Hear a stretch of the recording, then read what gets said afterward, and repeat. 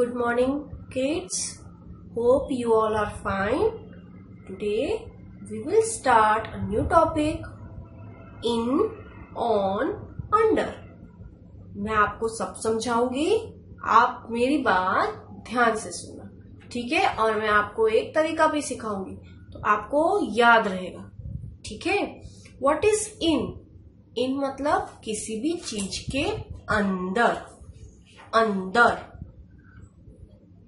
Bottle के अंदर, bathroom के अंदर, ग्लास के अंदर, बुक के अंदर अंदर अंदर यानी इन, अंदर यानी इन।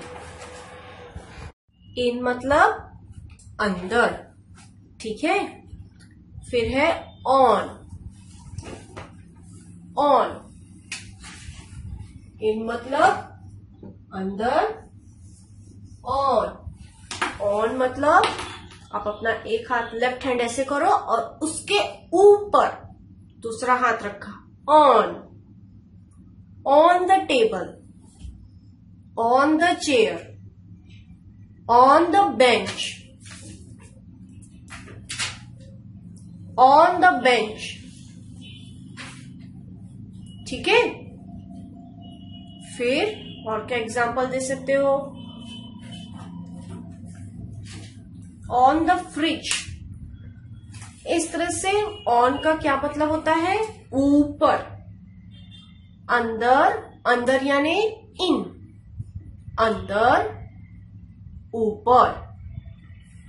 In on in on under under यानी नीचे.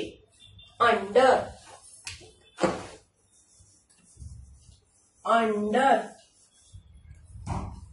अंडर यानी नीचे। टेबल के नीचे। Under the table. Under the chair.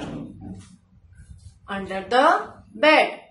Where is your napkin under the table where is the ball under the bed okay तो क्या है? इन ऑन अंडर एक और आपके आपको और भी आगे बहुत सारे वर्ड्स पढ़ने मिलेंगे, लेकिन these are the main words which we are going to study in senior KG in on under ठीक है? हम लोग take out your popcorn book page number fourteen one four fourteen write down date write down date यहाँ पे date लिखिए आप लोग। यहाँ पे ऊपर डेट और नीचे C W write down date and C W और हम इसको रीड करेंगे। A pen put your finger on the line मैं रीड कर रही हूँ, आप भी रीड करते जाइए। A pen is in the box in को अंडरलाइन करेंगे। इन इन इन कहा है? ये है in I N in in the box box के अंदर है। A pen is in the box कोई भी चीज़ जब किसी चीज़ के अंदर रखते हैं तो अंदर के लिए हम यूज़ करते हैं इन देखिए बाजू में a book is in the bag in को आप अंडरलाइन करिए। इन द बैग बैग के अंदर है। बुक बैग के अंदर है। फिर एन एंट एन क्यों लिखा है यहाँ पे? एंट की स्पेलिंग में ए लेटर वॉवल है, इसलिए आगे एन लिखा। An ant is on the jug on मतलब ऊपर। जग के ऊपर है। जग के अंदर नहीं है। A crow is on the cow cow के ऊपर बैठा है ना क्रो इसलिए ऑन अंडरलाइन करिए on next a cat is near the gate gate के पास में है कैट इसलिए near N E A R near ठीक है? कैट इस गेट के पास है near a pen is near the book near मतलब पास में। नियर मतलब पास में। नियर द बुक ये जो पेन रखी हुई है, ये बुक के पास है, इसलिए नियर फिर a tub is under the tap under under यानी नीचे। नल के नीचे ये टब रखा हुआ है, इसलिए under a tub is under the tap a tub is under the tap next है a ball is under under मतलब नीचे अंडर द टेबल ठीक है? अंडर मतलब नीचे. ये भी साइड वर्ड्स कहलाते हैं. These are also known as side words in on under in का मतलब अंदर. ऑन का मतलब ऊपर और अंडर का मतलब नीचे। इन ऑन अंडर ठीक है? ये बाजू वाले पेज में भी हम लोग डेट और सी डब्ल्यू लिखेंगे और इसको मैं आपको हेल्प करूँगी फिल करने में। ठीक है?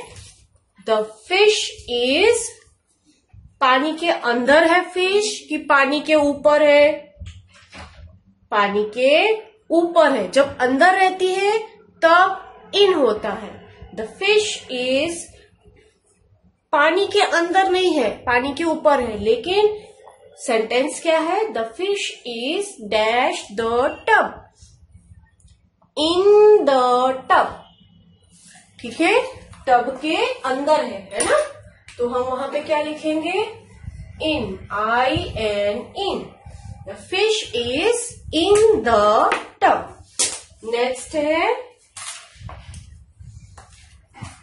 the man is near the wall दीवार के अंडर नहीं लिख सकते दीवार के ऊपर नहीं लिख सकते, दीवाल के नीचे नहीं लिख सकते। कहा है? पास में है। पास में के लिए हम लोग क्या यूज़ करते हैं? Near near is not necessary उसको याद नहीं रखना है आपको। हम लोग इस सीनियर केजी के क्लास में नियर ज़्यादा नहीं पढ़ाएँगे, लेकिन फिर भी आपको कंसेप्ट क्लियर रखना है, ध्यान रखना है कि नियर मतलब क्या होता है? पास में। नियर मतलब पास में। ठीक है? तो मैन इज़ नियर मैं बुक में भी आपको लिख रही हूँ। आप ध्यान से लिखते जाइए। यहाँ बुक में नियर नेक्स्ट है द बैट इज़ बैट कहाँ पे है? ऊपर है। नहीं है। अंदर है। टेबल के अंदर कैसे हो सकता है? कहाँ पे है? नीचे।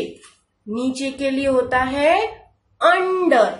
तो यहाँ लिखेंगे U N D E R. मैं यहाँ भी यहाँ पे लिखा हुआ है under. U N D E R. Under. ठीक है? नेक्स्ट ये एक बॉक्स दिख रहा है आपको। इस बॉक्स के ऊपर बुक रखिए, है ना? बॉक्स के ऊपर बुक रखिए।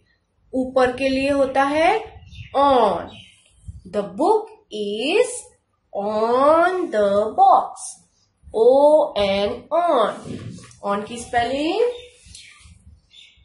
O N on the book is on the box नीचे the boy is a boy कहा है? कार के बाहर खड़ा है, कार के नीचे है, कार के ऊपर है, नहीं, कार के अंदर है। अंदर अंदर के लिए इन आप याद रखिए इन ऑन अंडर ठीक है? बहुत इजी है।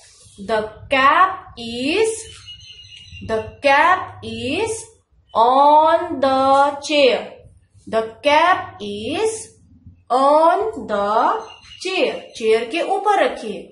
इसलिए ऑन ठीक है? इसलिए on cap is on the chair ठीक?